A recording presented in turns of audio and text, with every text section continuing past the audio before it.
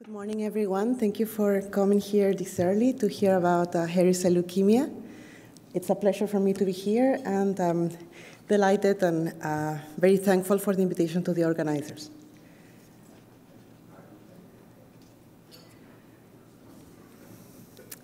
So, um, before we start into the therapies and you know what, what uh, we can achieve, let's go a little bit about the background. Um, in the 1950s, two different groups, one from um, Mayo Clinic and the other from Ohio State, both described independently a condition that was called at the time leukemic reticuloendotheliosis. And it established a distinct entity with um, splenomegaly and cytopenias and recurrent infections. In 1966, Schrek and Donnelly reported for the first time peculiar cells, and they called them hairy cells. In 2008, the World Health Organization determined that the classic form of hairy cell leukemia should be recognized as separate from the rare variant hairy cell leukemia V. And in uh, 2011, Dr. Enrico Tiacci and colleagues described for the first time the presence of the BRAF V600E mutation, which is present in the majority of uh, classic hairy cell leukemias, but is absent in variant type. In terms of epidemiology and diagnosis, it's a very rare disease, about 900 to 1,000 new cases in the United States per year, only 2% of all leukemias diagnosed. Median age of diagnosis is in their 50s, with a higher incidence in males and um, white the clinical hallmarks include fatigue and infections. It used to be that most patients presented with massive splenomegaly, but that is no longer the case, as people have uh, um, nowadays they see their doctors frequently and they get an annual CBC. In terms of initial evaluation, you should always do a peripheral smear review. And monocytopenia is a very sensitive and specific manifestation of classic cell leukemia. The differential diagnosis included uh, the variant subtype and other um, indolent B-cell malignancies. The flow is very classic. CD19 positive, CD20 positive, CD25, 103, 123, and CD200 positive. In most of the um, disease with classic subtype, you find the BRAF um, mutation. Uh, in order to do a bone marrow aspirate, it's very hard. Most patients have a dry tap. So you actually have to do a trephine um, biopsy. And what you will find is the presence of um, the BRAF and CD20 on the uh, bone marrow. Indications for therapy, most of the patients can be on active surveillance until they present symptoms, which are similar to other indolent lymphomas or leukemias. You just um, follow the patient closely and if you have any um, symptomatic lymphadenopathy or cytopenia, then you initiate therapy. Historically, the treatment used to be splenectomy or interferon. Interferon had a um, response, but very short-lived, and very few cases had a complete remission. This was changed to a purine analog, and later on, rituximab was included as a frontline, and that's kind of like the standard of care at present. In terms of relapse refractory disease, this is still an unmet need.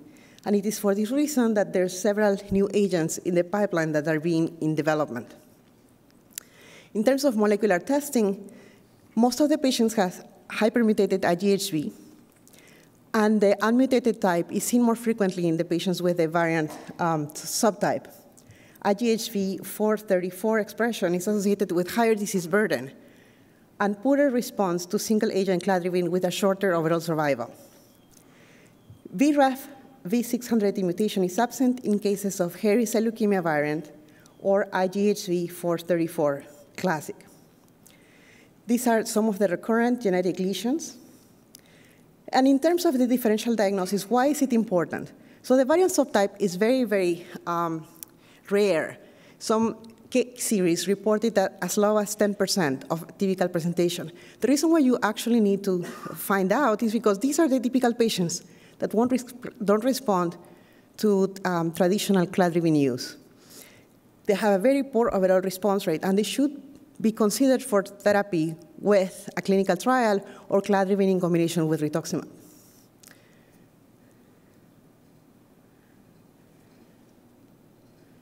These are the um, hairy cell leukemia guidelines. As you can see, most of the time you truly don't need to do the molecular testing, but in certain circumstances, when you're entertaining the possibility of a variant subtype, you should pursue that. In terms of the guidelines, as I mentioned before, you do active surveillance until you have the symptoms. If there's no indication for therapy at the time of the initial diagnosis, you just continue the active surveillance. When the patients have um, the need for therapy, you either use cladribine or pentostatin. Most, patient, most physicians choose to use pentostatin when patients are having a lot of recurrent infections, as they can um, titrate the drug easier. Your goal is to achieve a complete remission, and once you achieve that, you observe until indication for treatment. If you are unable to achieve a complete remission, then you should treat this patient as an early relapse. In terms of relapse refractory therapy, you either retreat with the initial purine analog plus or minus rituximab if you relapse after two years of the initial therapy, or you can choose to use the alternative uh, agent, depending on the patient's preferences and your uh, diagnostic criteria. Other physicians, depending on the age and comorbidities, may choose to only use rituximab in these patients, and that is also okay by the guidelines. If you relapse in less than two years, the first recommendation is to send this patient to a clinical trial because historically you know that these patients are going to do very poorly. The other option is to treat with an alternative purine analog plus or minus rituximab, with rituximab by itself or with vemurafenib. Vemurafenib was tried and tested in patients that had a short relapse, uh, just one or two years after the last therapy. And at the time of disease progression, these are the preferred regimens. First, again, the clinical trial, because by the time that you get here, you're a very rare patient and you should be seen by someone from the Hairy Cell Leukemia Consortium. The second option could be vemurafenib plus or minus rituximab, and the other alternative is moxetumomab plus pasudotox. It's a new agent just approved in the fall of 2018. Another um, option could be the use of ibrutinib, and I'll go about these drugs in more detail. In terms of uh, the response criteria, very important, like I said, to try to achieve complete remission because this correlates with a longer progression-free survival. And as you can see, in order to achieve this, you need to get normalization of your counts with a hemoglobin of um, higher than 11, an ANC of higher than 1,500, and platelets over 100,000. In terms of frontline therapy, cladribine and pentostatin historically have been able to achieve, in the vast majority of patients, above 85%, a complete remission or an overall response rate with complete remissions that are sustained and with a median PFS of 10 years, as you can see in this paper. The problem is, again, in patients with variant hairy cell leukemia, the response to therapy is pretty poor independently of which purine analog you choose to use. The ability to achieve your complete remission and median PFS for patients with hairy cell leukemia decreases with each subsequent line of therapy. This is the reason why you need to do the best bang for your buck. You really want to give the best therapy up front so that your patient can go into remission for a longer period of time. Um, there's a phase two trial from the MD Anderson group where they use cladribine frontline followed by rituximab infusions, a phase two study. And the failure-free survival is um, strikingly, um, as you can see in the graph by the orange hairy cell leukemia variant graph. These are the patients that will um, relapse earlier and they will also have a shorter overall survival. In terms of um, patients that were treated with either single agent or cladribine plus rituximab, they reported that patients treated with cladribine and rituximab had a longer flare-free survival. So some physicians choose to use the combination with a monoclonal antibody. Here are two graphs. On the left is again the same data that I just mentioned from MD Anderson, and on the right is a um, retrospective study of the use of cladribine or pentostatin in combination with rituximab where the authors reported a complete remission rate of 89%. So it's important to recognize that the addition of the monoclonal antibody rituximab can achieve a deeper response, and with that, a longer remission duration.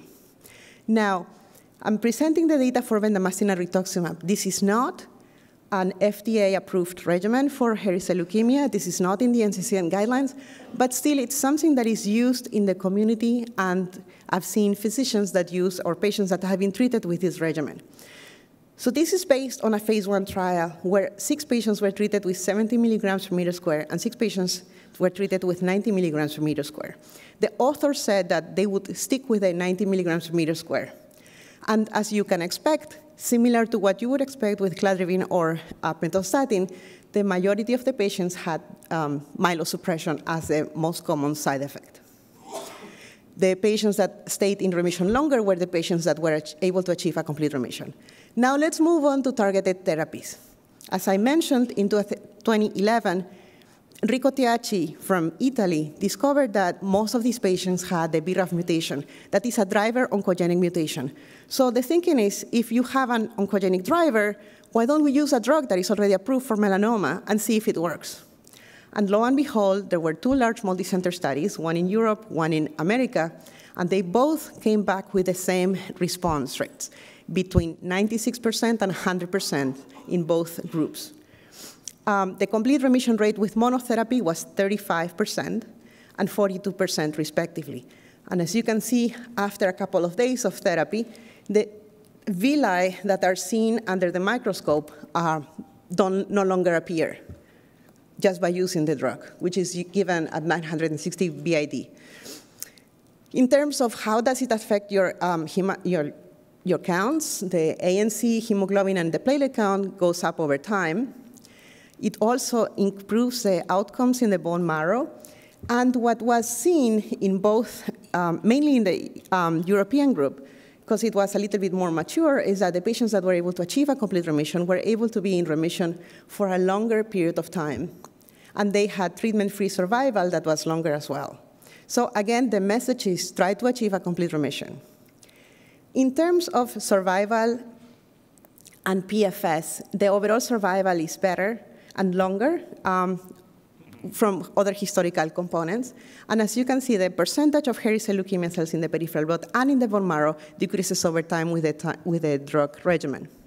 In terms of toxicities, I know that it's very hard to read, but it's for your slides, so you will get them after the conference. But the most common toxicities to know are the skin toxicities, including rash of photosensitivity. This is, has to be reminded to the patients. They have to actually see a dermatology doctor at least every six months. There's also a chance of developing secondary skin cancers. Also, arthralgias and arthritis, pyrexia, and increased bilirubin is common. Now, I'm not going to talk into depth with this combination, um, but it's kind of like the new kid on the block, vemurafenib with rituximab in um, relapse refractory hairy cell leukemia, just presented at IHA this summer. And uh, it sounds pretty good. The um, number of patients that was able to achieve a complete remission was 96%. So this was um, a very safe regimen. There were no new um, toxicities found. And more importantly, there's a consideration that maybe at some point, vemurafenib with rituximab in combination could be a good challenger for what has been historically a disease that has been treated with chemotherapy. So maybe this regimen will be the next, you know, um, E1912 trial, which showed that ibrutinib in combination with rituximab was better than FCR in CLL. We don't know, but it's, it's a gutsy uh, consideration. Now let's talk about the other targeted um, kinase that has been approved. It's in the NCCN guidelines for consideration, but this data, data is under review. It hasn't been published yet. It's a phase two study, 28 patients. Uh, last time it was presented was in ASH 2016, and there were two groups, um, patients treated with 420 and 840 once a day. And essentially, patients were able to achieve some sort of response over time, but the responses are very slow. It takes about eight months. Now, I want to bring to your attention the next drug, and this one drug has been approved by the FDA last year. Um, it's a long story um, from the NIH. In 2001, um, it was the first time that it was published that this monoclonal antibody targeting CD22 um, had activity in hairy cell leukemia, and it only took 17 years for FDA approval. But, you know, perseverance is important in medicine. So in the phase one trial, 28 patients with relapse refractory disease were treated at different doses for up to 16 cycles. And what people saw is that patients that were able to achieve a complete remission had a longer um, time in, re in, re in remission. Now, if you see from the phase one data, the investigators found that it's very important, if possible, not only to achieve a complete remission, but also undetectable MRD, because this correlates with a longer remission duration. As you can see, the top line on the graph on the left is still in, in remission if you achieve undetectable MRD. The pivotal study was a phase three trial that had 80 patients with relapsed refractory disease, multi-center, open label, and uh, this study was with the dosage of 40 micrograms per kilogram on days 1, 3, 5 of every 28 day cycle. And what it found was that about 48% of the patients were able to achieve a durable CR.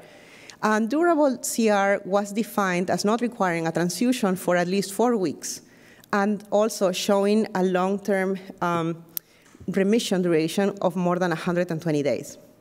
In terms of response rate, about 75 to 79% of the patients responded, with a good number of patients achieving complete remission, between 40 and 50, depending on who uh, made the decision. Importantly, again, if you note on the graph on the right, if you are still MRD positive at the end of the treatment regimen, your chances of having a long-term duration are lower than achieving undetectable MRD. So these are the special considerations. Um, two. One of them is um, um, the, I'm sorry, capillary leak syndrome, and it's characterized by hypoalbuminemia, hypotension, symptoms of fluid overload, and hemoconcentration. This happened in 34% of the patients at all grades, and only between, you know, 1 and 2% in grade 3 or grade 4. Hemolytic uremic syndrome um, characterized by microangiopathic hemolytic anemia, thrombocytopenia, and progressive renal failure, happened all comers in 7%, with less than 3% in higher grades, but still something that can be very dramatic, so patients should be adequately um, hydrated prior to any therapy. Now, this slide summarizes the clinical trial data that I have mentioned so far. And in essence, uh, what you can see from these trials is that the addition of rituximab essentially um, increases the achievement of complete remissions. And as such, it should be one of the um, treatment strategies for future um, proposed trials. And with that, I uh, thank you very much for your attention, and I leave you with that uh, comic on hairy cell leukemia. Thank you very much.